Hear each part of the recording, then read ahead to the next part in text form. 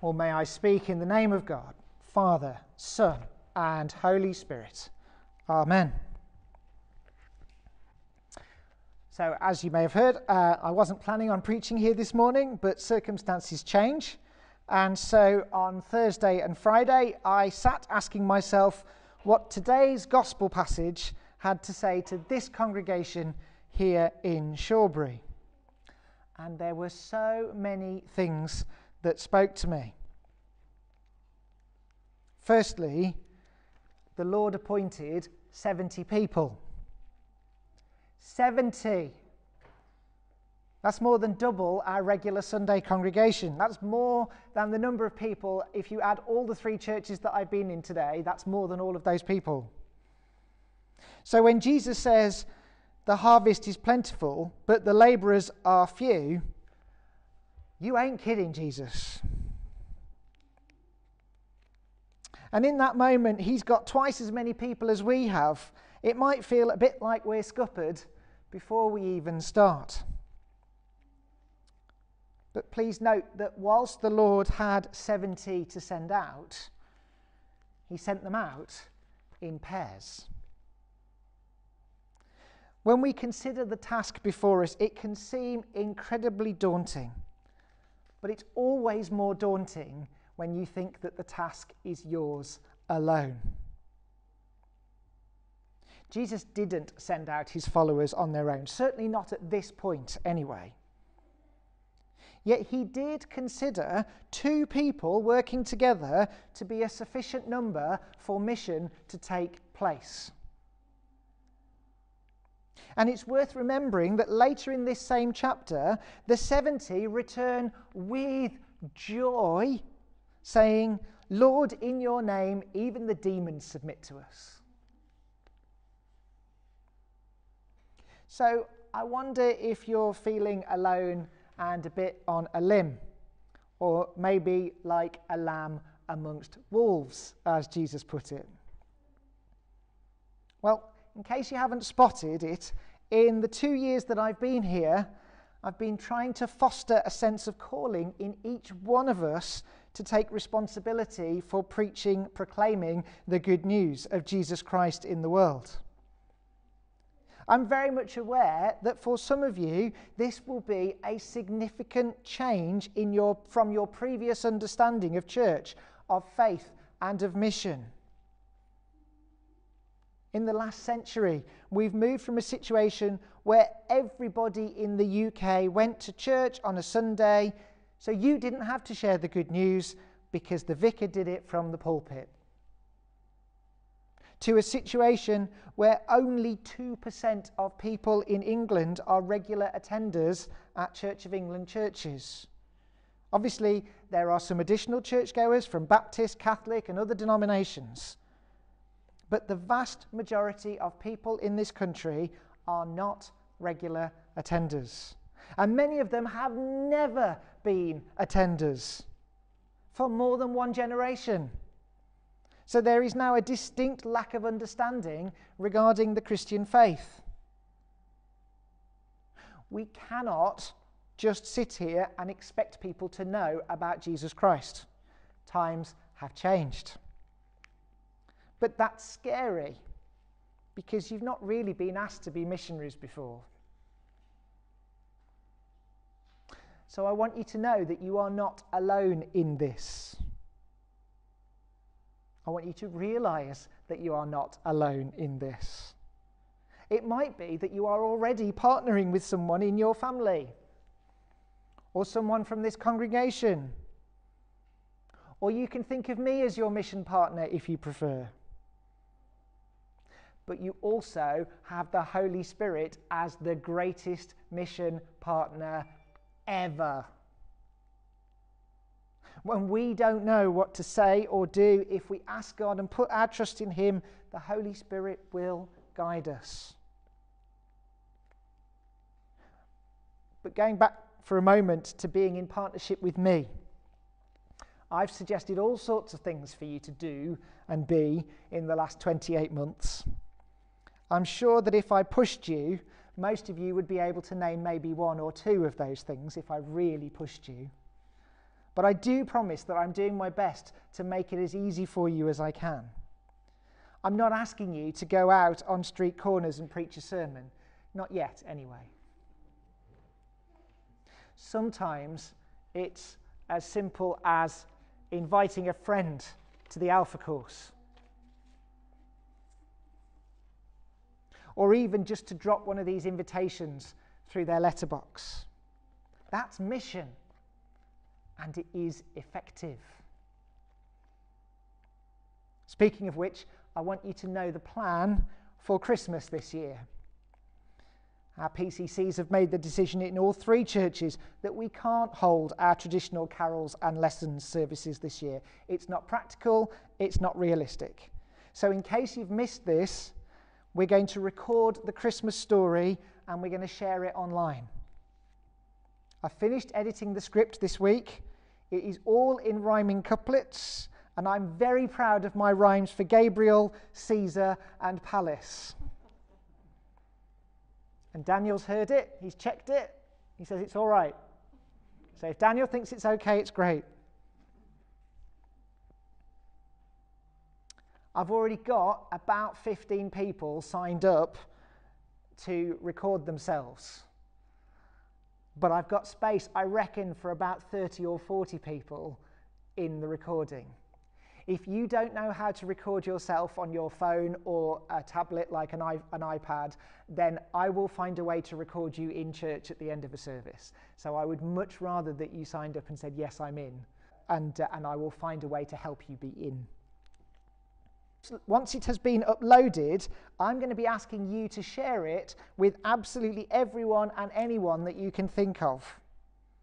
There'll be an email that I send out that you can share with your family and friends. See, not just in this parish, not just in the benefice, with your family and friends. Okay? There will be posts about it on social media that you can share to your own Facebook posts, for example. And I'm planning to advertise through flyers just like we did for Alpha, just like we did for Alpha this year. Now, by the end of 2020, I'm estimating that we will have spent somewhere in the region of 25 to 30,000 pounds on repairs to this building alone in one year, possibly more. In that time, in that year, my budget for mission will have been, I think, 100 pounds, which has gone on advertising the Alpha course. And in fact, that was money that we received in a grant last year anyway. So my real budget has been zip. So, in the next month, I'm going to be asking each of you and the congregations in the other two churches as well to contribute financially towards our Christmas mission. £90 gets us 5,000 flyers like this. And we need some A3 posters as well. So I'm going to be asking you to put your hand in your pocket to allow us to declare the good news of Jesus Christ in as many homes as possible in the run up to Christmas.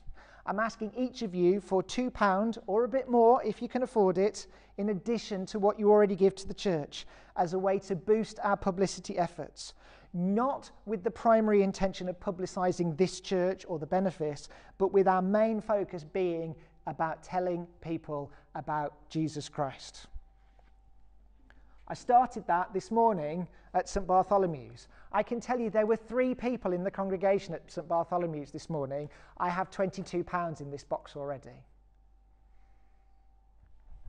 This box is going at the back next to the other collection plate. Please, I'm going to keep bugging you about it. The more I've got, the more I'm spending on mission, all right? And I'm excited about that. Chris is waving at me. You can give online as well. There you go. All right. You can give online as well. All right. But if you're giving online, tell Chris that it's for mission. Even then, you might think that this all seems a bit of a daunting task for our benefice. But there are 2.4 billion Christians in the world. So you are part of one of the biggest teams in the universe. We just need to play our part and let others play theirs. We do our best, God will do the rest.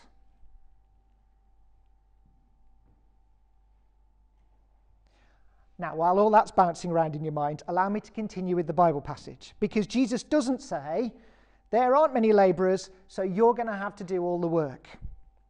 What he actually says is, therefore, ask the Lord of the harvest to send out labourers into his harvest. In other words, pray.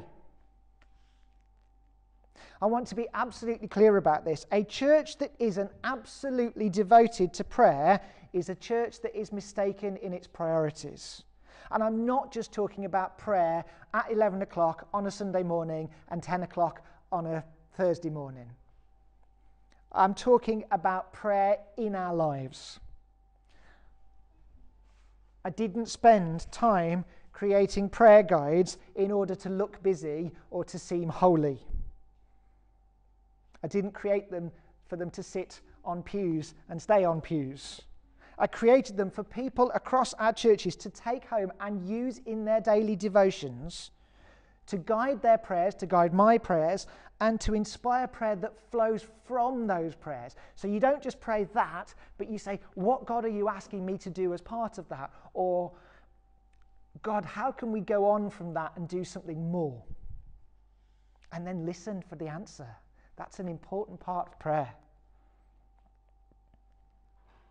And I didn't choose to run the prayer course during Lent this year because, well, that's what you do at Lent. And the prayer course is a nice, easy one to run. I chose it because prayer is a fundamental pillar of a life of faith, because prayer is transformative. As Margaret reminds us often, pray and you will get it. Thank you, Margaret. So, with that in mind, I pray every week for this church, much more than every week, in fact. I pray that God will guide me on how I can lead this church in the best way possible, developing it into the most uplifting, sustaining, encouraging, and empowering community that we can be.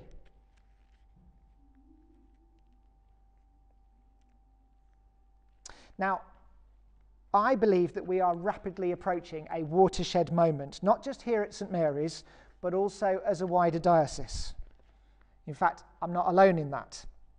The Bishop of Lichfield this week sent a letter to all clergy, lay ministers, and church wardens saying as such. In fact, I'm going to read a little bit of what the Bishop of Lichfield had to say as we rebuild our churches for the future, locally and across the diocese, it is clear that there will be many differences from the past.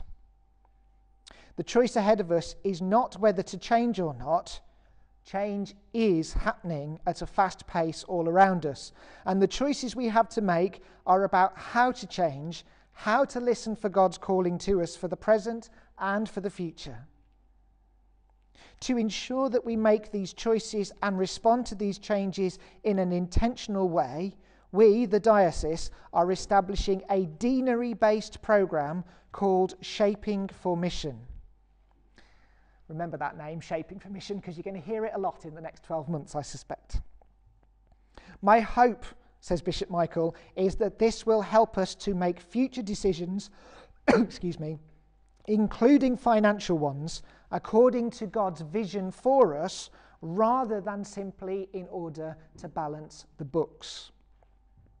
We do indeed have serious financial challenges to face, but even more serious are the missional opportunities being presented to us. Now, I'm very glad that Bishop Michael has made clear that the diocese has to make some financial decisions The diocese has agreed to support the parishes for three years, including this year, to cap, catch any shortfall. But after that, cuts will be coming.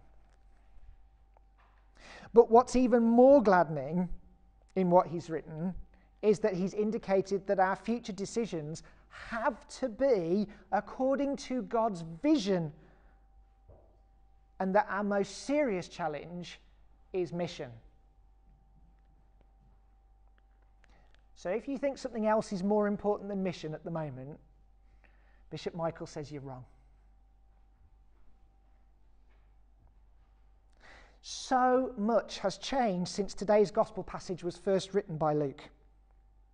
If you place one of those 70 people to whom Jesus spoke into a 21st century Britain, their head would probably explode with how different the world is now. Yet, in many ways, nothing has changed at all. We are still being sent out by Christ into the world. Our financial concerns remain a worry, but we are told to trust in a God who has plans for us. We feel like lambs among wolves when we go out into the world. But God's kingdom has come near, and the Father chooses to use us to declare it. So I hope and pray that you will partner with me, with each other, and with the Holy Spirit in mission.